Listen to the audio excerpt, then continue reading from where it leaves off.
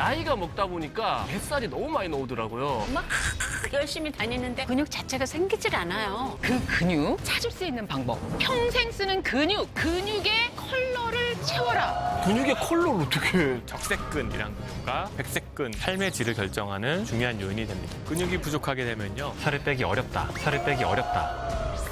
77 사이즈에서 44로 적색과 백색의 컬러를 full로 채워드릴 운동법입니다. 뒤로 가면 앉으세요.